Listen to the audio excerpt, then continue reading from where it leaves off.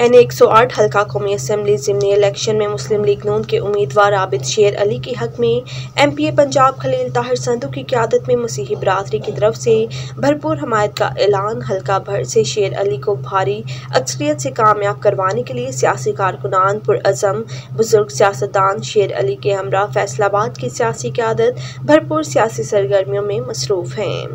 एक बार फिर आपको बताते चले कि एन एक सौ आठ हल्का कौमी असम्बली ज़मनी इलेक्शन में मुस्लिम लीग नून के उम्मीदवार आबिद शेर अली के हक में M P A Punjab Khalil Tahir Sandhu की क्यादत में मसीही बरदरी की तरफ से भरपूर हमायत का ऐलान हल्का भर से शेर अली को भारी अक्सरियत से कामयाब करवाने के लिए सियासी कारकुनान पुरज़म बुजुर्ग सियासतदान शेर अली के हमरा फैसलाबाद की सियासी क्यादत भरपूर सियासी सरगर्मियों में मसरूफ़ हैं